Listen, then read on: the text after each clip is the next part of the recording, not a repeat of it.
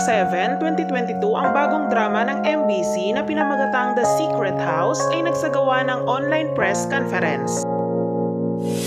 유난히도 캄캄한다면 나 홀로 Narito ang iilang mga press conference photos ng mga pangunahing bida na sina si Yoo Ha-john at Lee Yang-yeon at kasama din ang veteran actress na si Lee Seong-yeon. 생각했었는데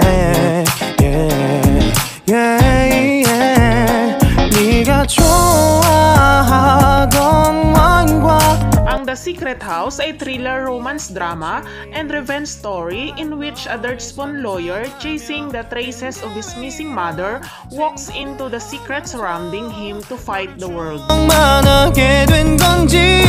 Yeah.